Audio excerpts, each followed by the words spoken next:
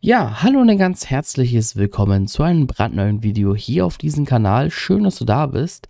Ja, gestern am Karfreitag ist eine ja, neue Lackierung erschienen.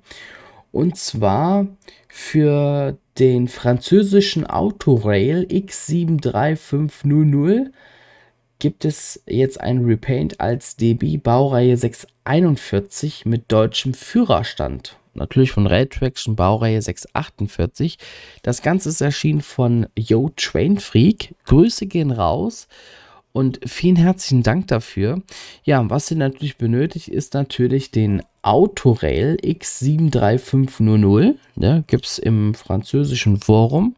Ja, ähm, müsst ihr natürlich auch euch registrieren, aber keine Angst, da passiert euch nichts. Ich bin da auch registriert, also könnt ihr euch das problemlos runterladen und was ihr natürlich benötigt, ist halt das Payware Add-on, die Baureihe 648 von Raytraction.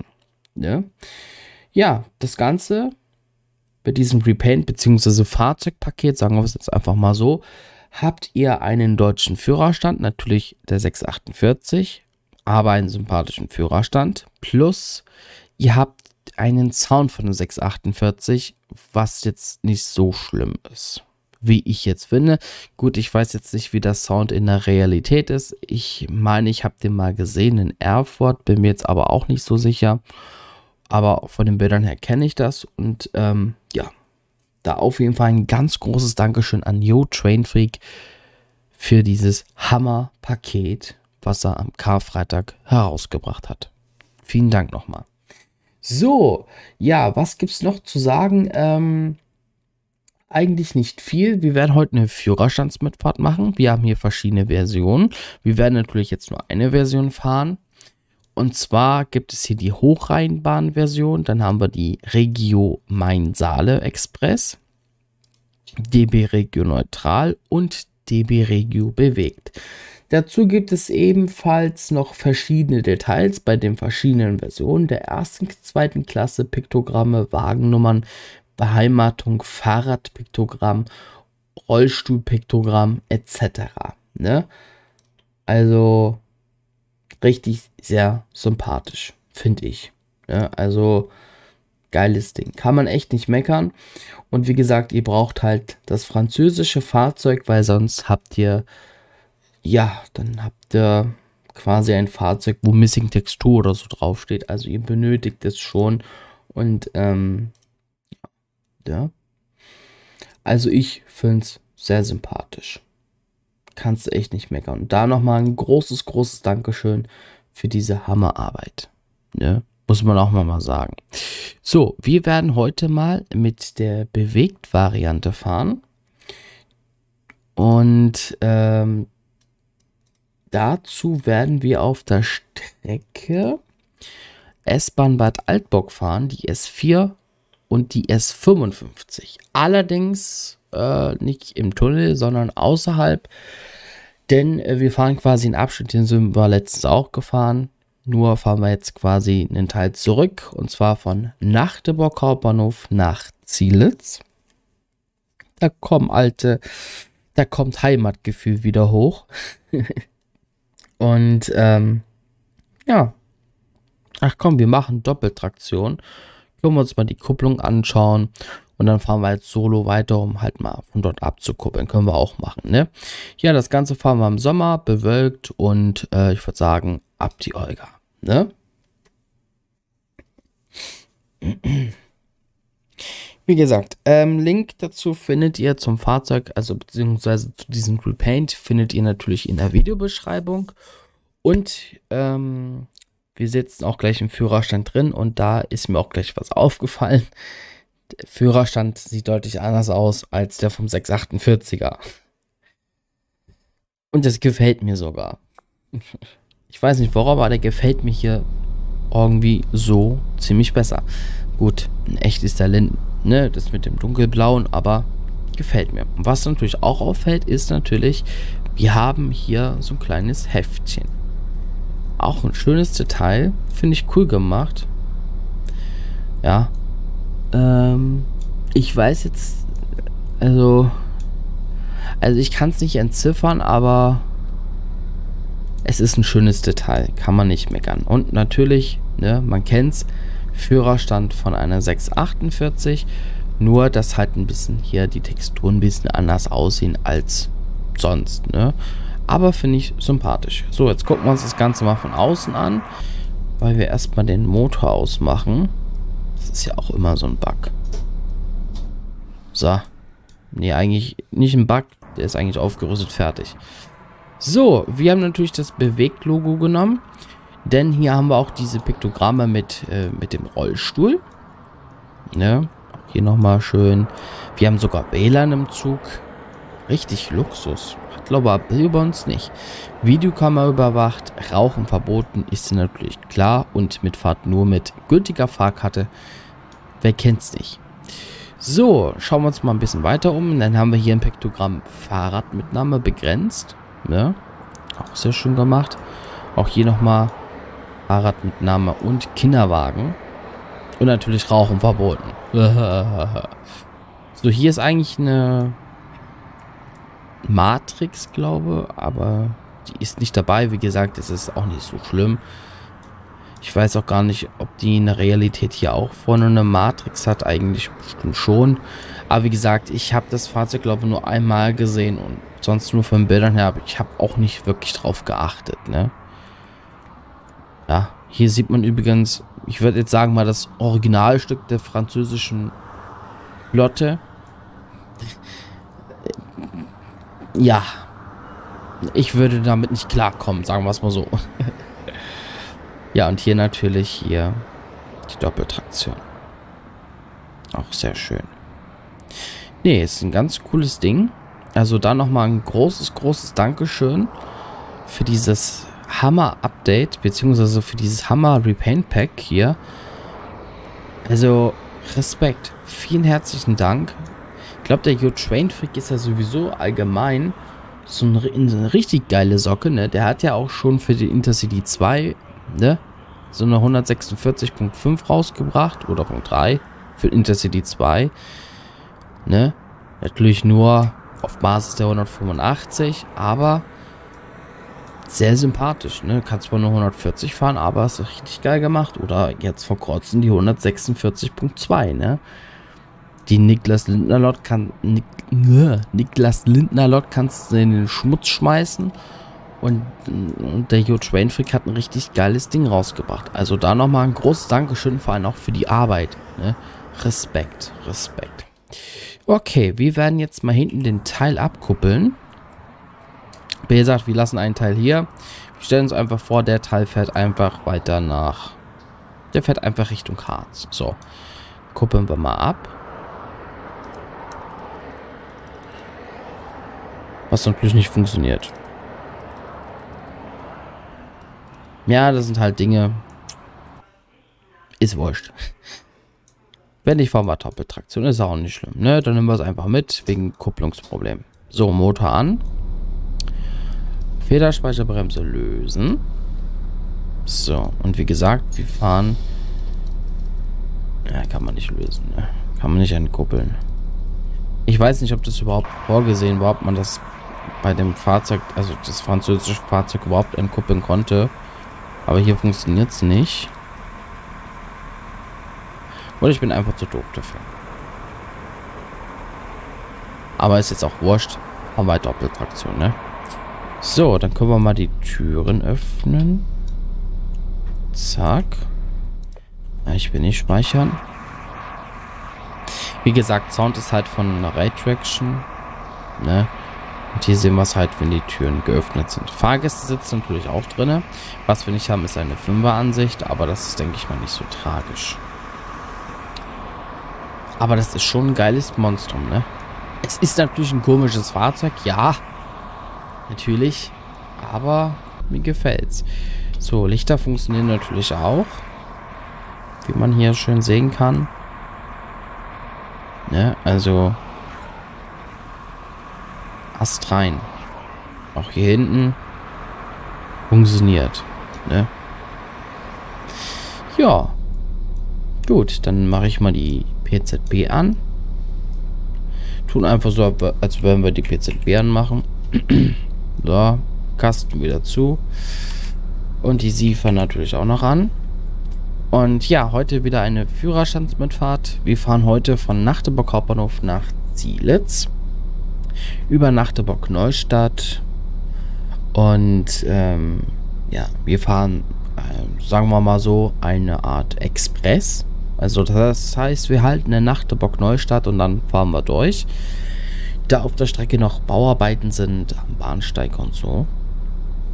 Und ich hoffe, es ist okay für Dion, dass wir dort lang fahren, weil schnelles Spiel und da lagen keine Gle da liegen Gleise, ne? Und wir enden in Zielitz auf Gleis 1.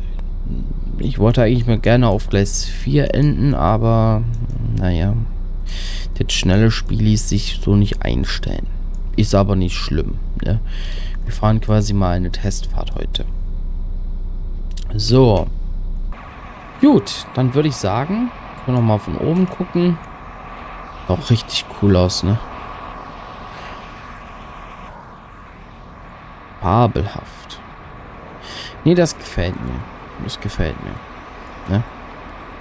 So. Okay. Dann würde ich sagen, schließen wir die Türen. Äh, Moment.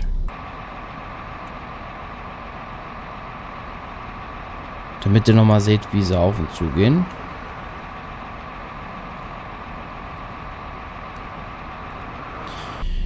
Perfekt, wenn man die Tastenkombination nicht weiß.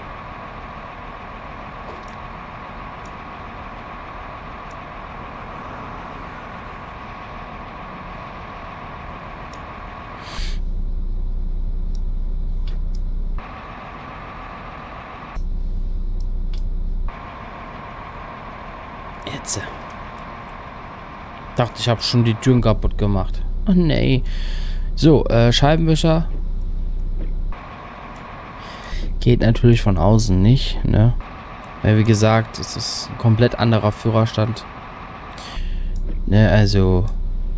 Aber das ist ja nicht so schlimm. Ne? Aber ich finde es trotzdem cool, ne?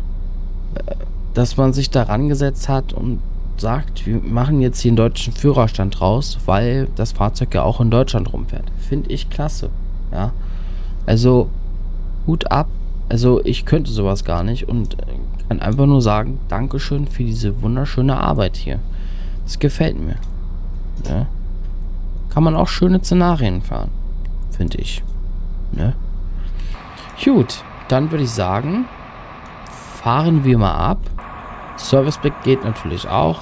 Können hier rausgucken. Ja. Ist ja auch so ein Ding hier, ne? Und ähm, ja, wie immer hatte ich ja bei der Führerstandsmitfahrt meine Klappe. Und ihr genießt die Fahrt mit der Baureihe 641 und genießt ein bisschen die Strecke. Download zur Strecke gibt es ebenfalls in der Videobeschreibung. In diesem Sinne, hören wir uns nochmal am Ende und wie gesagt, wenn euch das Video noch gefällt, würde ich mich sehr über einen Daumen nach oben freuen. Und ähm, ja, in diesem Sinne, jetzt, jetzt halte ich auch mal wirklich meine Klappe und wir fahren jetzt mal los. Also viel Spaß.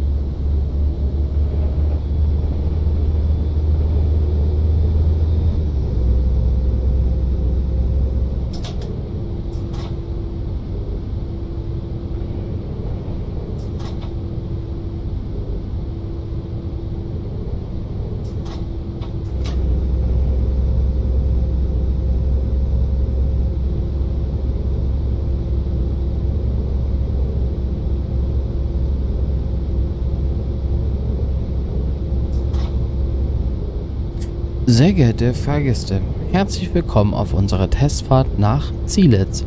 Unser nächster planmäßiger Halt ist Nachteburg Neustadt. Ausstieg in Fahrtrichtung links.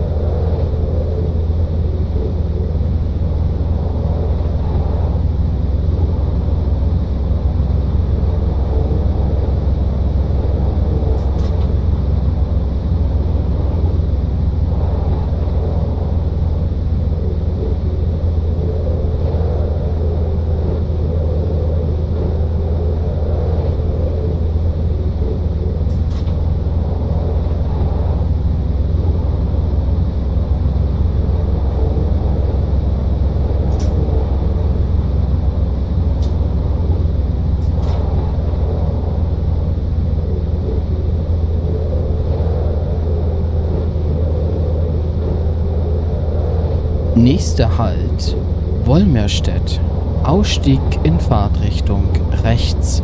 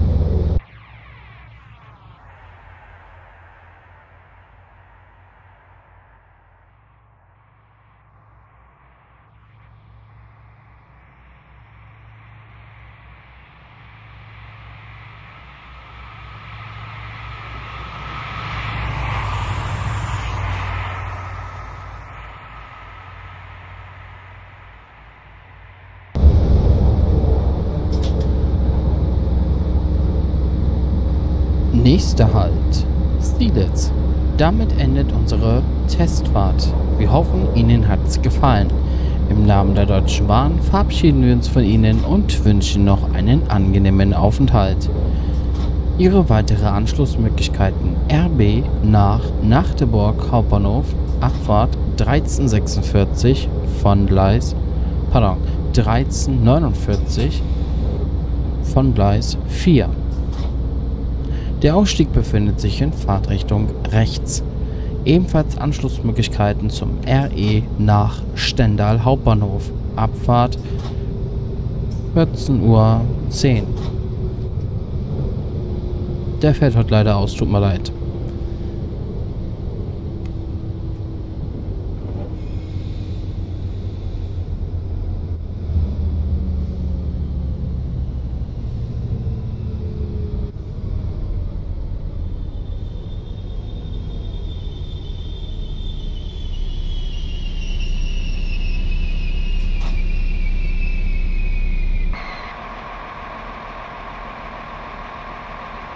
So, wir sind angekommen in Zielitz. ja, perfektes, ja, perfekter Endbahnhof für eine Testfahrt. In, ja, schönsten Bahnhof. Ja. naja, egal.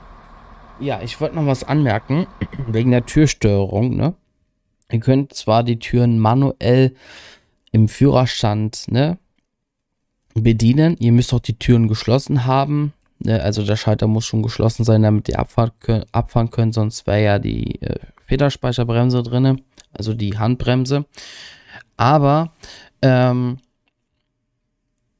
das lässt sich nicht natürlich von außen manuell steuern. Ne? Da muss, müsst ihr schon die Taste T drücken, damit von außen auch die Türen aufgehen. Aber äh, ja, ich denke mal, das ist kein Problem. Ansonsten wirklich ein sehr schönes Fahrzeug, ein sehr schönes Repaint. Vielen herzlichen Dank nochmal an Yo Train Freak für diese klasse Arbeit.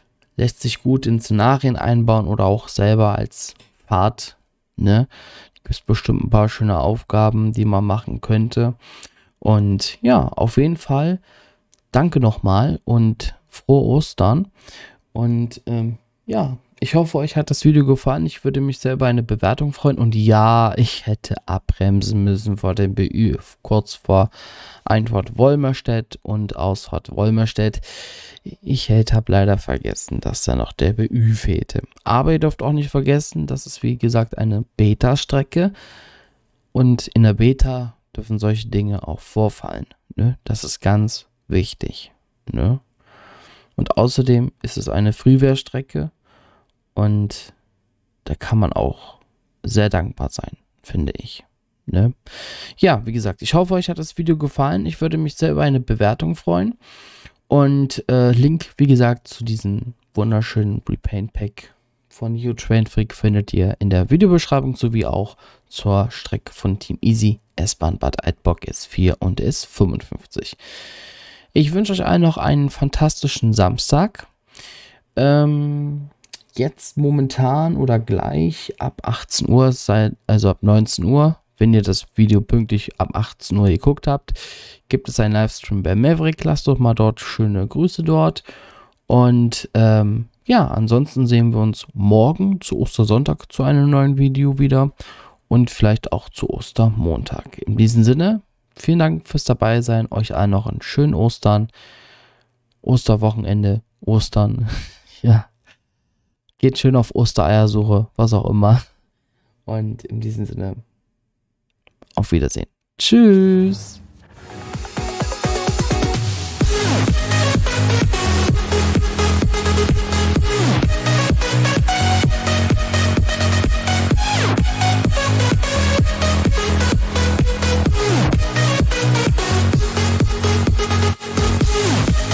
Thank